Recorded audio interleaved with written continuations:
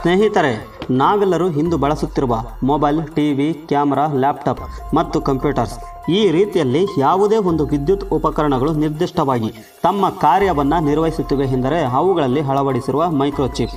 ಮಾನವನ ಶರೀರದಲ್ಲಿ ಇರುವ ಮೆದುಳು ಯಾವ ರೀತಿಯಲ್ಲಿ ತನ್ನ ಇಡೀ ಶರೀರವನ್ನು ನಿಯಂತ್ರಿಸುತ್ತದೆಯೋ ಅದೇ ರೀತಿಯಲ್ಲಿ ಎಲೆಕ್ಟ್ರಾನಿಕ್ಸ್ ಉಪಕರಣಗಳಲ್ಲಿ ಅಳವಡಿಸಿರುವ ಮೈಕ್ರೋಚಿಪ್ ಕೆಲಸ ಮಾಡುತ್ತದೆ. ಮಾನವನ ಮೆದುಳಿನಂತೆ ಕಾರ್ಯವನ್ನು ನಿರ್ವಹಿಸುತ್ತಿರುವ ಈ ಮೆಮೊರಿ ಕಾರ್ಡ್ ಅಥವಾ ಮೈಕ್ರೋಚಿಪ್ಪನ್ನು ಯಾವುದರಲ್ಲಿ ತಯಾರಿಸುತ್ತಾರೆ ಗೊತ್ತೇ? ನಾನು, ನೀವು ಎಲ್ಲರೂ ನಿಂತಿರುವ ಈ ಮಣ್ಣಿನಿಂದಲೇ. ಈ ಮೈಕ್ರೋಚಿಪ್ನ ಒಳಗಡೆ ಏನೇನು ಇರುತ್ತದೆ? ಈ ಮೈಕ್ರೋಚಿಪ್ ಯಾವುದರ ಬೇಸ್ನ ಮೇಲೆ ಕೆಲಸ ಮಾಡುತ್ತದೆ ಎಂಬುವಂತಹ ಎಲ್ಲ ಮಾಹಿತಿಗಳನ್ನು ಮೈಕ್ರೋಸ್ಕೋಪ್ ಮುಖಾಂತರ ತಿಳಿದುಕೊಳ್ಳೋಣ. ಪ್ರಪಂಚದಲ್ಲಿ ಮಾನವ ಏನನ್ನು ಬೇಕಾದರೂ ತಯಾರು ಮಾಡುತ್ತಾನೆ. ಈ ರೀತಿಯಲ್ಲಿ ಅನ್ವೇಷಣೆ ಮಾಡಿದ ಉಪಕರಣಗಳಲ್ಲಿ ಅತ್ಯಂತ ಕ್ಲಿಷ್ಟಕರವಾದ, ಕಷ್ಟಕರವಾದ ಕೆಲಸ ಎಂದರೆ ಮೈಕ್ರೋಚಿಪ್ ತಯಾರು ಮಾಡುವುದು. ಇದನ್ನು ಯಾವ ರೀತಿಯಲ್ಲಿ ತಯಾರು ಮಾಡ್ತಾರೆ ಈ ಮೈಕ್ರೋಚಿಪ್ನ ಒಳಗಡೆ ಯಾವ ಯಾವ ಪಾರ್ಟ್ಸ್ ಇರುತ್ತದೆ ಎಂಬುವಂತಹ ಎಲ್ಲ ಮಾಹಿತಿ ಏನಾದರೂ ನಿಮಗೆ ತಿಳಿದರೆ ಖಂಡಿತವಾಗಿಯೂ ಆಶ್ಚರ್ಯವಾಗುತ್ತದೆ. ಆದ್ದರಿಂದ ಈ ವಿಡಿಯೋವನ್ನು ಎಲ್ಲಿಯೂ ಸ್ಕಿಪ್ ಮಾಡದೆ ಕೊನೆಯವರೆಗೂ ನೋಡಿ. ಒಂದು ವೇಳೆ ನಿಮ್ಮ ಫೋನ್ನಲ್ಲಿ ಇರುವ ಮೈಕ್ರೋಚಿಪ್ನ ಬಗ್ಗೆ ನೀವು ಮಾಹಿತಿ ತಿಳಿದುಕೊಂಡಿದ್ದೀರಾ ಎಂದೆನಿಸಿದರೆ ಒಂದು ಲೈಕ್ ನೀಡಿ. ಬನ್ನಿ ಟಾಪಿಕ್ಗೆ ಹೋಗೋಣ. ಈ ಮಣ್ಣಿನ ಕಣಗಳಿಂದ ತಯಾರಾಗುವ ಚಿಪ್ನ ಪ್ರೋಸೆಸನ್ನು ಈಗ ನೋಡೋಣ. ಸ್ನೇಹಿತರೆ, ಇಷ್ಟು ಕಡಿಮೆ ಸಮಯದಲ್ಲಿ ಎಲ್ಲ ವಿದ್ಯುತ್ ಉಪಕರಣಗಳಿಗೂ ಚಿಪ್ಪನ್ನು ಅಳವಡಿಸುವಷ್ಟು ಮಟ್ಟಕ್ಕೆ ಹೇಗೆ ಬೆಳೆದವು ಎಂದು ತಿಳಿದುಕೊಳ್ಳಬೇಕೆಂದರೆ, ನಾವು ಸಾವಿರಾರು ವರ್ಷಗಳ ಹಿಂದಿನ ಇತಿಹಾಸವನ್ನು ನೋಡಬೇಕಾಗುತ್ತದೆ. ಮೊದಲು ನಿರ್ಮಾಣವಾದ ಏನಿಯನ್ ಕಂಪ್ಯೂಟರ್, ಹತ್ತು ಸಾವಿರ ಕೆಪಾಸಿಟರ್ಸ್, ಏಳು ಸಾವಿರ ಡಯೋಡ್ಸ್, ಹನ್ನೊಂದು ಸಾವಿರ ರೆಸಿಸ್ಟೆನ್ಸ್, ಹದಿನೆಂಟು ಸಾವಿರ ವ್ಯಾಕ್ಯೂಮ್ ಟ್ಯೂಬ್ಸ್ ಮತ್ತು ಇವುಗಳನ್ನೆಲ್ಲ ಸೇರಿಸಲು ಸುಮಾರು ಐದು ಲಕ್ಷ ವೈರಿಂಗ್ ಕನೆಕ್ಷನ್ಸ್ ಇದ್ದವು. ಈ capacitors, diodes, resistance, vacuum tubes ಎಲ್ಲವೂ ಸುಮಾರು ಮೂವತ್ತು ಟನ್ನಷ್ಟು ಭಾರವಿತ್ತು. ಆದರೆ ಈ ಮೂವತ್ತು ಟನ್ನನ್ನು ಇತ್ತೀಚಿನ ದಿನಗಳಲ್ಲಿ ಯಾವ ರೀತಿಯಲ್ಲಿ ಅಭಿವೃದ್ಧಿಪಡಿಸಿದ್ದಾರೆ ಎಂದರೆ ಕೇವಲ ನಮ್ಮ ಉಗುರಿನ ಗಾತ್ರದಲ್ಲಿ ಅಳವಡಿಸಿದ್ದಾರೆ. ಅಂದರೆ ಮೂವತ್ತು ಟನ್ ಬಳಸಿದ ಎಲ್ಲ ಕನೆಕ್ಷನ್ಸ್, ಡಯೋಡ್ಸ್, ಕೆಪಾಸಿಟರ್ಸ್, ರೆಸಿಸ್ಟೆನ್ಸ್ ಎಲ್ಲವನ್ನು ನಮ್ಮ ಉಗುರಿನ ಗಾತ್ರದಲ್ಲಿ ಮೈಕ್ರೋಚಿಪ್ನಲ್ಲಿ ಅಳವಡಿಸಿದ್ದಾರೆ. ಇದು ಇಷ್ಟೊಂದು ಸಣ್ಣ ಗಾತ್ರಕ್ಕೆ ಬದಲಾಗಲು ಮುಖ್ಯವಾದ ಕಾರಣ ಹೊಂದಿದೆ ಅದುವೇ ಟ್ರಾನ್ಸಿಸ್ಟರ್ಸ್. ವಾಕ್ಯೂಮ್ ಟ್ಯೂಬ್ ಬಳಸುತ್ತಿದ್ದ ಸ್ಥಳಗಳಲ್ಲಿ ಈ ಟ್ರಾನ್ಸಿಸ್ಟರ್ಸ್ ಬಂದಿದ್ದರಿಂದ ಮೈಕ್ರೋಚಿಪ್ಪನ್ನು ನಮ್ಮ ಉಗುರಿನ ಗಾತ್ರಕ್ಕೆ ಬದಲಿಸಲು ಸಾಧ್ಯವಾಗಿದೆ. ನಮ್ಮ ಮೆದುಳಿನಲ್ಲಿ ಇರುವ ನ್ಯೂರನ್ಸ್ ಯಾವ ರೀತಿಯಲ್ಲಿ ಕೆಲಸ ಮಾಡುತ್ತದೆಯೋ ಅದೇ ರೀತಿಯಲ್ಲಿ ಮೈಕ್ರೋಚಿಪ್ನಲ್ಲಿ ಅಳವಡಿಸಿರುವ ಟ್ರಾನ್ಸಿಸ್ಟರ್ಸ್ ಕೆಲಸ ಮಾಡುತ್ತವೆ. ಈ ಟ್ರಾನ್ಸಿಸ್ಟರ್ಸ್ ನಾವು ನಮ್ಮ ಮನೆಗಳಲ್ಲಿ ಲೈಟ್ಸ್ ಆನ್ ಆಫ್ ಮಾಡಲು ಬಳಸುವ ಸ್ವಿಚ್ನ ರೀತಿಯಲ್ಲಿ ಕೆಲಸ ಮಾಡುತ್ತದೆ. ಮೆಮೊರಿ ಕಾರ್ಡ್ನಲ್ಲಿ ಇರುವ ಟ್ರಾನ್ಸಿಸ್ಟರ್ಸ್ ಎಲೆಕ್ಟ್ರಾನ್ಸನ್ನು ಆನ್ ಮಾಡುವುದು, ಆಫ್ ಮಾಡುವುದು ಮಾಡುತ್ತಿರುತ್ತದೆ. ಸ್ನೇಹಿತರೆ, ನಮಗೆಲ್ಲರಿಗೂ ತಿಳಿದಿರುವಂತೆ ಕಂಪ್ಯೂಟರ್ ಕೇವಲ ಬೈನರಿ ಲ್ಯಾಂಗ್ವೇಜ್ ಮಾತ್ರವೇ ಅರ್ಥ ಮಾಡಿಕೊಳ್ಳುತ್ತದೆ ಎಂದು ತಿಳಿದುಕೊಂಡಿದ್ದೇವೆ.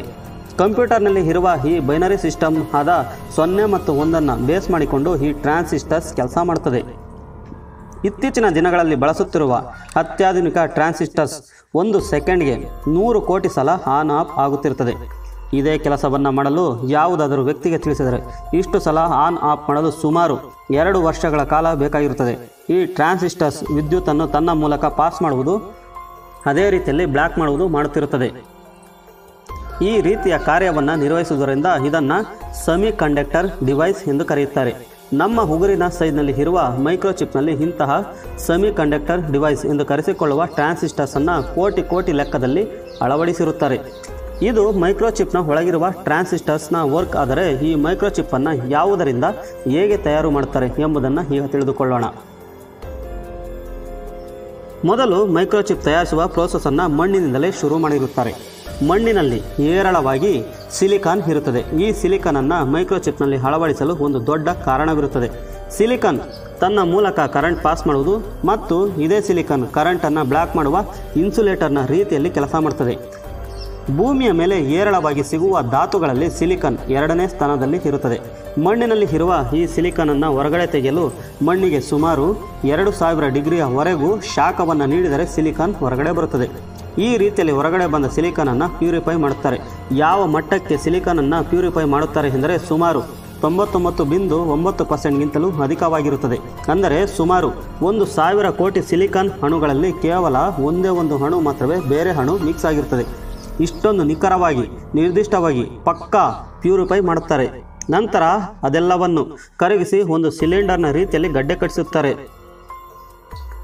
ಈ ರೀತಿಯಲ್ಲಿ ಕರಗಿಸಿ ತಂಪು ಮಾಡಿ ಗಡ್ಡೆ ಕಟ್ಟಿರುವ ವಸ್ತುವನ್ನು ಇನ್ಗುಟ್ ಎಂದು ಕರೆಯುತ್ತಾರೆ ಈ ಇನ್ಗುಟ್ನ ತೂಕ ಸುಮಾರು ನೂರು ಕೆ ಜಿ ಇರುತ್ತದೆ.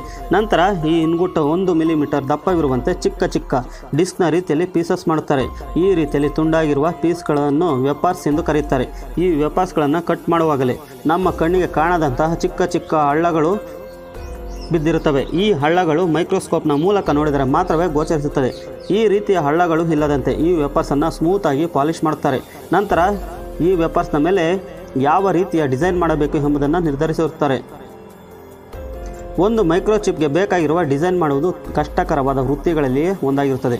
ಏಕೆಂದರೆ ಒಂದು ಸಲ ಊಹಿಸಿಕೊಳ್ಳಿ, ಮೈಕ್ರೋಚಿಪ್ನ ಮೇಲೆ ಈ ಮೊದಲೇ ತಿಳಿಸಿದಂತೆ ಒಂದು ಕೋಟಿ ಟ್ರಾನ್ಸಿಸ್ಟರ್ಸ್ ಇರುತ್ತವೆ. ಇವುಗಳಿಗೆಲ್ಲವೂ ಒಂದು ನಿರ್ದಿಷ್ಟವಾದ ರೀತಿಯಲ್ಲಿ ಎಲ್ಲ ಟ್ರಾನ್ಸಿಸ್ಟರ್ಸ್ಗೆ ಕನೆಕ್ಷನ್ಸ್ ನೀಡಬೇಕೆಂದರೆ ಪಕ್ಕ ಪ್ಲ್ಯಾನ್ ಮತ್ತು ಡಿಸೈನ್ ಬೇಕಾಗಿರುತ್ತದೆ. ಒಂದು ಮೈಕ್ರೋಚಿಪ್ಪನ್ನು ಡಿಸೈನ್ ಮಾಡುವುದು ಮತ್ತು ಟೆಸ್ಟ್ ಮಾಡುವುದಕ್ಕೆ ಒಂದು ಪಕ್ಕಾ ಪ್ಲ್ಯಾನ್ ಮತ್ತು ಡಿಸೈನ್ ಇರಬೇಕು.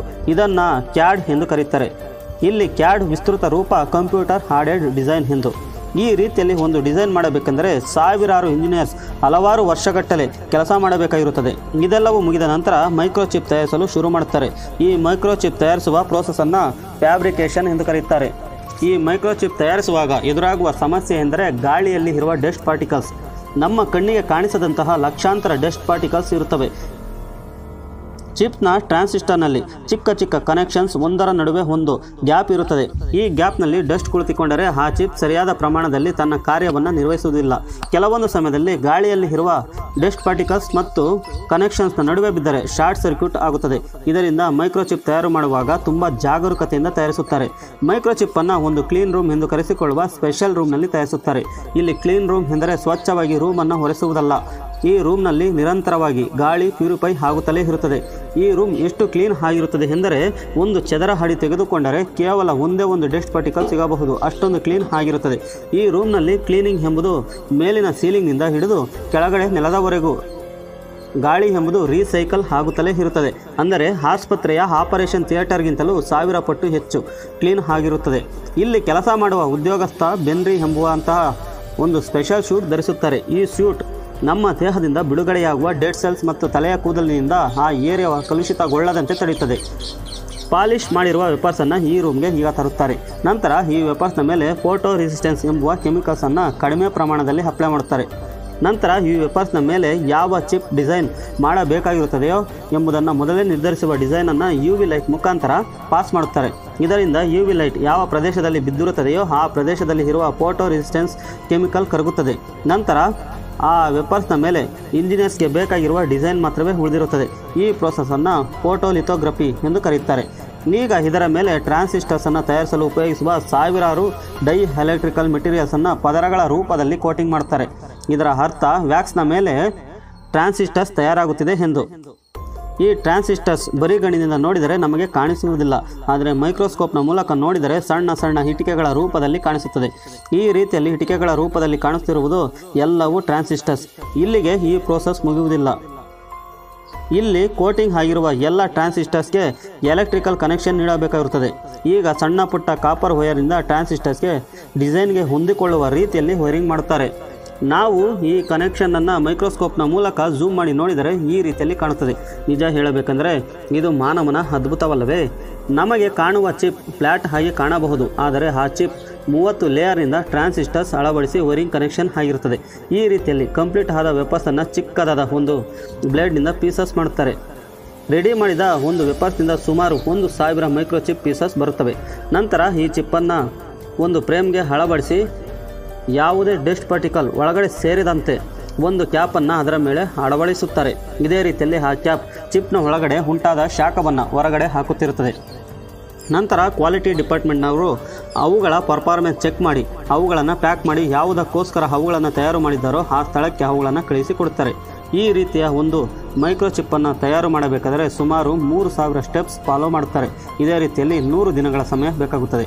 ಸಾವಿರದ ಒಂಬೈನೂರ ಅರವತ್ತರಲ್ಲಿ ಒಂದು ಚಿಪ್ನ ಮೇಲೆ ಕೇವಲ ಐದು ರೆಸಿಸ್ಟೆನ್ಸ್ ಅಳವಡಿಸುತ್ತಿದ್ದರು. ಈ ಟ್ರೆಂಡನ್ನು ಗೋಲ್ಡನ್ ಮಾರ್ಸ್ ಎಂಬುವ ವ್ಯಕ್ತಿ ಒಂದು ಚದುರ ಅಂಗಲ ಸೈಜ್ನಲ್ಲಿ ಇರುವ ಟ್ರಾನ್ಸಿಸ್ಟರ್ನ ಸಂಖ್ಯೆ ಪ್ರತಿ ವರ್ಷ ಡಬಲ್ ಆಗುತ್ತದೆ ಎಂದು ಹೇಳುತ್ತಾರೆ. ಇದನ್ನು ಮಾರ್ಸ್ಲಾ ಎಂದು ಕರೆಯುತ್ತಾರೆ. ಸಾವಿರದ ಒಂಬೈನೂರ ಅರವತ್ತೆಂಟರಲ್ಲಿ ರಾಬರ್ಟ್ ನೋಯ್ಸಿ ಮತ್ತು ಗೋಲ್ಡನ್ ಮಾರ್ಸ್ ಎಂಬುವ ಇಬ್ಬರು ವ್ಯಕ್ತಿಗಳು ಸೇರಿ ಒಂದು ಕಂಪನಿ ಸ್ಟಾರ್ಟ್ ಮಾಡುತ್ತಾರೆ. ಇಂಟಿಗ್ರೇಟೆಡ್ ಅಂಡ್ ಎಲೆಕ್ಟ್ರಾನಿಕ್ಸ್ ಎಂಬುವ ಎರಡು ಪದಗಳನ್ನು ಸೇರಿಸಿ ಇಂಟೆಲ್ ಎಂಬುವ ಹೆಸರನ್ನು ಇಡುತ್ತಾರೆ. ಈ ಕಂಪನಿಯೇ ಪ್ರಪಂಚದಲ್ಲಿಯೇ ಅತಿ ದೊಡ್ಡ ಮೈಕ್ರೋಚಿಪ್ ತಯಾರಿಸುವ ದೊಡ್ಡ ಕಂಪನಿ. ಸಾವಿರದ ಒಂಬೈನೂರ ಎಪ್ಪತ್ತೊಂದರಲ್ಲಿ ತಯಾರಿಸಿದ ಚಿಪ್ನಲ್ಲಿ, ಅಂದರೆ ನಾಲ್ಕು ಸೊನ್ನೆ ಸೊನ್ನೆ ನಾಲ್ಕು ಎಂಬುವ ಮಾಡೆಲ್ನ ಚಿಪ್ನಲ್ಲಿ ಎರಡು ಸಾವಿರದ ಮುನ್ನೂರು ಟ್ರಾನ್ಸಿಸ್ಟರ್ಸ್ ಇತ್ತು. ನಂತರ ಸಾವಿರದ ಒಂಬೈನೂರ ಎಂಬತ್ತರಲ್ಲಿ ತಯಾರಿಸಿದ ಚಿಪ್ನಲ್ಲಿ ಮೂವತ್ತು ಸಾವಿರ ಸಂಖ್ಯೆಯ ಟ್ರಾನ್ಸಿಸ್ಟರ್ಸ್ ಹೆಚ್ಚು ಮಾಡುತ್ತಾರೆ ಸಾವಿರದ ಒಂಬೈನೂರ ತೊಂಬತ್ತಕ್ಕೆ ಹತ್ತು ಲಕ್ಷ ಎರಡು ಸಾವಿರಕ್ಕೆ ಮೂರು ಕೋಟಿ ಟ್ರಾನ್ಸಿಸ್ಟರ್ಸ್, ಎರಡು ಸಾವಿರದ ಹತ್ತರಲ್ಲಿ ನೂರು ಕೋಟಿ ಟ್ರಾನ್ಸಿಸ್ಟರ್ಸನ್ನು ಚಿಪ್ನಲ್ಲಿ ಅಳವಡಿಸುತ್ತಾರೆ.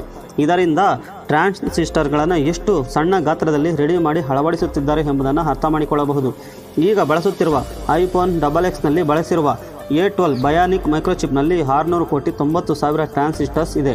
ಇದು ಸುಮಾರು ಒಂದು ಸೆಂಟಿಮೀಟರ್ ಉದ್ದ, ಒಂದು ಸೆಂಟಿಮೀಟರ್ ಅಗಲ ಮಾತ್ರವಿರುತ್ತದೆ. ಆದರೆ ಒಂದು ಪೋಸ್ಟ್ ಕಾರ್ಡ್ ಸ್ಟಾಂಪ್ ಸೈಜ್ಗಿಂತಲೂ ಕಡಿಮೆ ಇರುತ್ತದೆ. ಈ ಒಂದು ಸೆಂಟಿಮೀಟರ್ ಅಗಲ ಒಂದು ಸೆಂಟಿಮೀಟರ್ ಉದ್ದದಲ್ಲಿ ಆರುನೂರು ಕೋಟಿ ಟ್ರಾನ್ಸಿಸ್ಟರ್ಸನ್ನು ಅಳವಡಿಸುತ್ತಿದ್ದಾರೆ ಎಂದರೆ ಈಗ ಬಳಸುತ್ತಿರುವ ಟ್ರಾನ್ಸಿಸ್ಟರ್ಸ್ ಕೇವಲ ಏಳು ನ್ಯಾನೋಮೀಟರ್ ಗಾತ್ರದಲ್ಲಿ ಇರುತ್ತದೆ. ಅಂದರೆ ನಮ್ಮ ರಕ್ತದಲ್ಲಿ ಇರುವ ಕೆಂಪು ರಕ್ತ ಕಣಕ್ಕಿಂತಲೂ ಕಡಿಮೆ ಎಂದರೆ ಯೋಚಿಸಿ. ಟೆಕ್ನಾಲಜಿ ಎಷ್ಟು ವೇಗವಾಗಿ ಅಭಿವೃದ್ಧಿಯಾಗುತ್ತಿದೆ ಎಂದು. ನಮ್ಮ ಮೆದುಳಿನಲ್ಲಿ ನ್ಯೂರನ್ಸ್ ಯಾವ ರೀತಿಯಲ್ಲಿ ಕಾರ್ಯವನ್ನು ಮಾಡುತ್ತವೆಯೋ ಅದೇ ರೀತಿಯಲ್ಲಿ ಈ ಚಿಪ್ನಲ್ಲಿ ಕಾರ್ಯನಿರ್ವಹಿಸುತ್ತವೆ. ಇದರಿಂದಲೇ ಇವುಗಳನ್ನು ತಯಾರಿಸುವುದು ಅತ್ಯಂತ ಕಷ್ಟಕರವಾಗಿರುತ್ತದೆ. ಜಗತ್ತು ಬದಲಾದಂತೆ ಚಿಪ್ಗಳ ಗಾತ್ರ ಕಡಿಮೆಯಾಗುತ್ತಿದೆ ಆದರೆ ಕೆಲಸ ಮಾತ್ರ ಜಾಸ್ತಿ ಆಗುತ್ತಿದೆ. ಇನ್ನು ಮುಂದಿನ ಭವಿಷ್ಯತ್ತಿನಲ್ಲಿ ಈ ಎಲೆಕ್ಟ್ರಾನಿಕ್ ಬ್ರೈನ್ ಎಂದು ಕರೆಸಿಕೊಂಡಿರುವ ಈ ಮೈಕ್ರೋಚಿಪ್ ಯಾವ ರೀತಿಯಲ್ಲಿ ಬದಲಾಗುತ್ತದೆ ಎಂದು ನೋಡಬೇಕು. ಓಕೆ ಫ್ರೆಂಡ್ಸ್ ಈ ವಿಡಿಯೋ ತುಂಬ ಲೆಂತ್ ಆಗಿದೆ ಅನಿಸುತ್ತಿದೆ ಸ್ನೇಹಿತರೆ, ಈ ವಿಡಿಯೋ ಇಷ್ಟವಾದಲ್ಲಿ ಒಂದು ಲೈಕ್ ನೀಡಿ ನಿಮ್ಮ ಸ್ನೇಹಿತರಿಗೆ ಈ ವಿಡಿಯೋವನ್ನು ಶೇರ್ ಮಾಡಿ. ನೀವಿನ್ನೂ ನಮ್ಮ ಚಾನಲನ್ನು ಸಬ್ಸ್ಕ್ರೈಬ್ ಆಗಲಿಲ್ಲವೆಂದರೆ ಸಬ್ಸ್ಕ್ರೈಬ್ ಆಗಿ ಪಕ್ಕದಲ್ಲಿ ಇರುವ ಬೆಲ್ ಬಟನ್ ಪ್ರೆಸ್ ಮಾಡಿ ಹಾಲ್ ನೋಟಿಫಿಕೇಶನ್ ಆನ್ ಮಾಡಿ. ಈ ವಿಡಿಯೋದ ಬಗ್ಗೆ ನಿಮ್ಮ ಅಮೂಲ್ಯವಾದ ಅನಿಸಿಕೆಯನ್ನು ಮುಕ್ತವಾಗಿ ಕಾಮೆಂಟ್ ಮಾಡಿ. Thank you for watching